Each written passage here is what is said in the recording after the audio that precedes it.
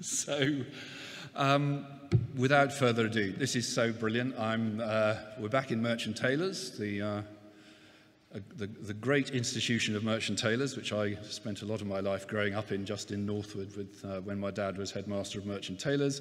And as I mentioned, I think probably last time I was here, this uh, brings me back home. And uh, I remember my mum and dad sitting around here, sort of eating and drinking as honorary members of all sorts of clubs and things like that. So it's great to have you here. And good morning, Your Excellencies. We have lots of excellencies. We have lords, we have ladies, we have eminent professors, and we have some people who might be called gentlemen, and some people who might think of themselves as otherwise. And you're all incredibly welcome uh, to this ninth edition of the Hogan Lovells Africa Forum in person and here at MTS. Um, finally, and with thanks particularly, I think, will be lots of thanks as we're going, but to the team at Merchant Taylors for the forbearance over the last three years because uh, they've been great and it's lovely to be back. Um, our theme this year is Africa on the Move, which obviously allows anybody to talk about whatever they like. And as ever, we have a galaxy of education, entertainment, expertise to present to you with leading commentators from all over the continent. Really, we have an incredible spread from all over the continent. Some of them have come to this rather later than others, but they're all fantastic. Um, and you won't agree with everything everybody says, I hope. Uh, but you will be challenged by some of it, uh, particularly the closing address, I think you'll find. Um, and if necessary, just challenge back. Um, I was recently really privileged to be invited to present the annual law lecture at Bradford University, and I know we have the eminent Professor Engobo Emeseh with, her, with us today, so thank you, Professor, for that. And um, that was a first for me. I've never delivered a law lecture at university and never attended a law lecture at university. and as I mentioned at the time, I probably only attended four lectures uh, when I was at university at all studying what I was studying. But, uh, and there's a former colleague of mine from university here who can probably confirm that, and we both studied the same course, and I, but I think she probably did more lectures than I did. Um, but I was really proud going up there um, to see such an enthusiastic and incredibly diverse coming through into our profession. And to kick off today, I wanted to pick up a few of the themes which I, which I talked about then. I won't give you the whole 45 minutes. I'd had to do a 45 minute uh, lecture. And to be perfectly honest, I've never done more than about 10. And I wrote it all out and got going and thought this must be 45 minutes, and it was 15. So I then had to go through the whole of my life, I think, and that just about got me to 45 minutes. But in my talk, I was talking, firstly, I was talking about the practice and role of law in the real world and the importance that law, and especially the rule of law, has in the world today, not as a theoretical, but a, a practical concept. And it's clear to me, I mean, look what's happening in Parliament here at the moment, that this importance increases day by day in a world where the fragility of institutions which underpin society and, frankly, an autocratic tendency to bypass them is clear, and where populist ideas, which can, of course, include unthinking criticism even of lawyers, can work intentionally or not to undermine those societal foundations. But there's also amazing opportunities to achieve things when you're informed, um, engaged, and focused uh, with an inquiring and open mind. And I highlighted the importance, which I believe has universal application, of accepting and embracing the fact that you mustn't make ethical assumptions and apply your own set of learned values indiscriminately and unthinkingly to others if you want to make, get anywhere. And how you need a broad cultural approach and an understanding and balanced approach not only to achieve a just solution, which we're all talking about in Africa at the moment, but also an effective solution to global uh, and day-to-day commercial issues alike. Um, you might call it, maybe you need to adopt um, personal mental decolonization, perhaps, on a personal level, which I think is the phrase of today. So in essence, it's a complicated world with complex problems and different but valid value systems operating contemporaneously within it. Um, and it's increasingly the case, which is what is really obviously good to one person, business, generation, or culture, is equally and obviously bad to another, whether in terms of ethics or simple practical outcomes. And the challenge the world faces at the moment is to find a balance to this which delivers a beneficial solution mutually within the constraints and principles of one's own personal and professional values, unless you just want to start a war or something like that. So simple disagreements can develop polarization from, from cooperation and selfishness from making a difference to others. Something highlighted at a talk um, we hosted recently with Paul Polman, um, the former CEO of Unilever and generally good person, I believe, when he asked, um, is the world better off because I'm in it? It's a good question. I've run my practice, and this practice, as people will know, on four pillars. Um, understanding first. We've got to listen. We've got to understand more about what we do and not assume knowledge. We're good at that, I think. Um, investment. Without having the skin in the game, you can't properly deliver. Operation. We want to work on the ground with people we advise. And finally, and most importantly, and I think really important for me, respect. And that goes from respect for culture, other people, other people's views, and even, as I point out to my junior lawyers sometimes, people who aren't lawyers, because uh, they may have some different views from you sometimes, but they know business in a better way than most lawyers.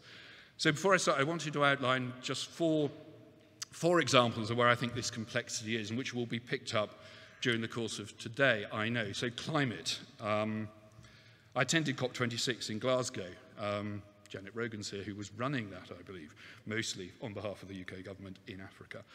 Um, the need for action and urgent change, rightly highlighted, highest level, good words spoken, good documents signed, and I think generally speaking it was considered to be good. And this is uh, an area you might hope that we would have global alignment uh, before we're all boiled, frankly.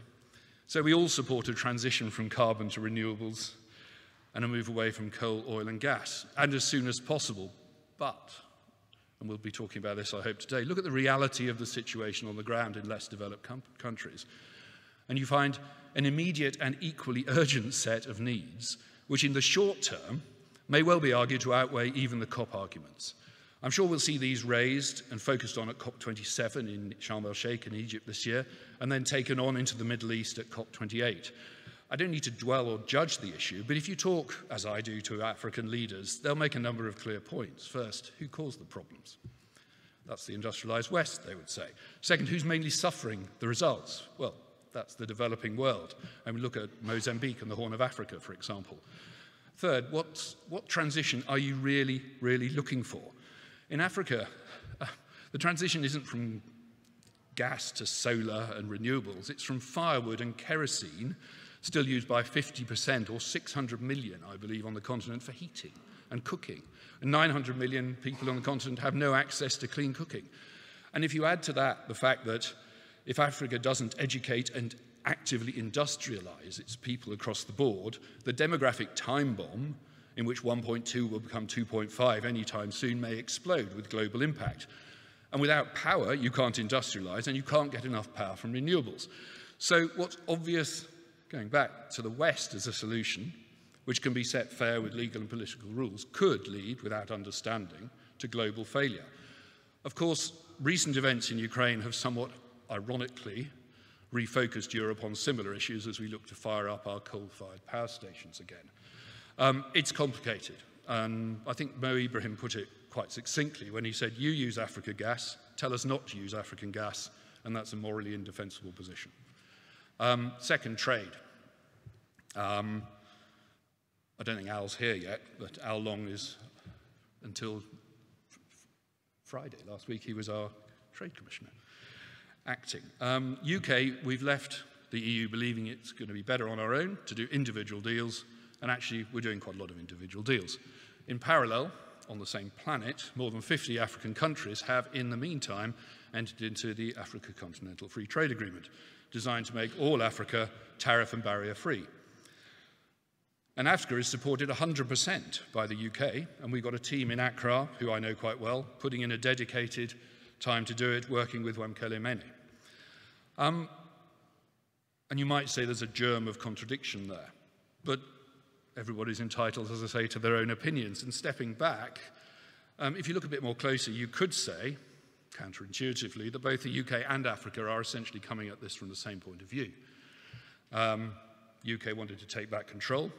Africa and the African Union have for years been repeating the mantra that Africa should make things in Africa for Africa, and that value which is currently added outside Africa should be added in Africa for Africans, um, taking back control. We'll hear more of that today. Third, and briefly, politics and war. It's a challenge for global businesses with good and decent employees in different jurisdictions to operate and adjust their business um, in date changing times. We all have to work within the law and the rules, and things in Russia are difficult. And it's, again, it's complicated. And I've been talking to a lot of people, again, in Africa about this. And again, the fact that what's obviously right to me isn't necessarily the case for, for those with a different historical experience and perspective. Um, a lot of countries including African countries, have been criticized for, should say, not taking sides. I don't need to comment on that other than to say that talking to, if you talk to uh, leading politicians of a certain generation, um, they might point out to you that over the, off, they, you know, they've had a lot of support from certain countries, often side by side with them in the trenches um, in their wars of liberation. And they've reminded us that uh, sometimes you need a historical perspective and understanding. Fourth, and something which is, I know, very close to, uh, for example, Afrexim's heart, um, and Samali Kiyingi in particular, I think, who's been talking later, uh, vaccinations. Um, COVID has challenged us all to work quickly and effectively to deliver solutions, which I think overall we've done. And there have been fantastic successes, which are well documented. At the same time, just as we see with the climate debate, the um, exigencies of a situation have a tendency to move, to move you to the one-eyed, I think. Um, others have commented more eloquently than I on this, but um, balancing a desperate and public demanded need to vaccinate your own country against the need to ensure vaccine availability globally, which in itself is critical to your own country's future, um, has created a lot of challenges. And when you add on to that national competitiveness about efficacy, which you know, Monsieur Macron was particularly good at, this is still challenging us all. So these are areas where, bear this in mind, not everybody has the same view, everybody has valid views, and you need to think about it. Um, I want to say in final words a, a, few points about today and about us and me a bit. Uh, first, um, as many of you, it's been a sad, sad few weeks for our practice following the passing of our partner and, and my good friend, Kevin Peterson from Joburg and St Francis Bay. Kevin was a, a great lawyer, a good man, and a good friend. Hewn, as we put, might put it, from Kimberley. I first met him at the first one of these events where we stayed up late uh, with me on the piano, singing away, and he on the beers and choosing the songs. Um, his expertise and dedication to clients was unsurpassed. And I've already said more than he would have wished, and he would most definitely have told me to walk it off, princess, is what he'd have said to me. Uh, but I wanted to say that. For me, I'm absolutely delighted to have been made chair of this practice and handed over all the work to Aaron uh, Velasami and Olivier Phil-Lambie, who you'll see and hear around the place at our events, so two highly experienced Africa specialists. Um, I'm proud of the way we progressed our practice um, as a team over the last few years, and I want to acknowledge how fortunate I've been enabled to not only promote our practice, but also in my various roles, a better understanding, I hope, of and engagement with Africa. Um, those who know me understand my passion for understanding Africa in all its infinite variety and in trying to connect people on and off the continent to take things forward. Um, I think we don't have a representative of the Smithsonian National Museum of African Art here today. We do, however, have Desta from the Royal African Society, whose CV is extraordinary. When I read it out later, I didn't even know half of what she'd done.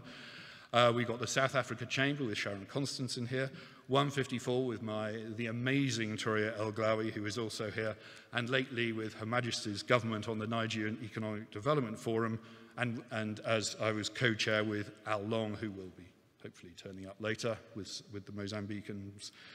Um, uh, on my panel, where, who I co-chaired the Africa Investors Group with, which I think I'm still co-chair of, but that all depends on the new guy in charge. Um, I felt a nice bookend and launch pad for my career was reached, and my late mother, who I referred to earlier, wouldn't forgive me if I didn't mention it. Um, when I was privileged to be awarded an MBE recently in the Queen's Jubilee birthday honours list for my Africa work, which is a credit to everybody in our team and the opportunity. okay. Well, she'd have liked that as well. Um, so we're all on the move, and we need to move on. And as we say in our practice, by going forward, going far, we go far together. And if you go alone, you don't go anywhere. I think it's something like that. We've got a spectacular firecracker and event in whatever order it turns out, which will depend on who turns up when. Um, and if going back to the beginning, the world is complicated. To operate effectively in it, you need every day to seek to learn something new and not be suffocated by your own preconceptions or your narrow focus. Um, to understand and be effective, you've got to respect other views and listen and cultures and embrace them, even if you don't agree with them, because you always learn something, even if you disagree. You should try working in the A team for a week and you'll realize that's the case. Um, so listen, think, and learn. And now, I think I have to say a couple of points. So that's my opening address. With that, take some time to familiarize yourself with the event platform. Use Google Chrome, otherwise you won't get in. But since you're all here, I don't care. I think there are people listening, so I do care about those who are listening very a lot. Um, and um, if you're, you're listening to this virtually, there's fewer of you here, which is marvelous, and I hope you're going to enjoy it. Um, I'd now like to welcome to the stage partner Akima Paul Lambert, I hope, who will introduce our opening panel. Ah, that's me done. So over, enjoy the day. It's fantastic. Lots of friends here. Ask questions, but realize I'm just going to be on the phone most of the time to Portugal trying to get my container out there. So